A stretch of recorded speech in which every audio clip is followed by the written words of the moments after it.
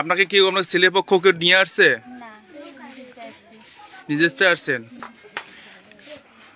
আমার নাম অনামিকা। আমি নিজ ইচ্ছায় আমার স্বামীর কাছে আসছি। ছাব্বিশ তারিখে আমি আমার স্বামীর সাথে পালিয়ে গেছিলাম। সেখান থেকে আমার বাবা মা আমাকে অনিশ্চয়ের সহিত আনছে। এখন আমি আমার স্বামীর কাছে থাকতে চাই। সমাজের কাছে আমার এটাই দাবি। আপনি কি চান? স্বামীর কাছে থাকতে চাই। আপনি যে আজকে আসলেন এখানে আপনাকে কেউ পাঠাই দিছে? না কেউ দেয়নি। আপনি নিজে যাচ্ছেন? হ্যাঁ।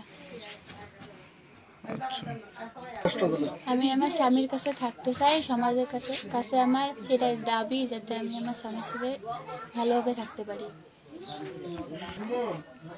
সবাই আমাদেরকে সহযোগিতা করুন। নতুন ধর্মের মধ্যে আমাদের বিয়ে একবারই হয় আমি আমার স্বামীকে বিয়ে করছি নাম শিপন রায়।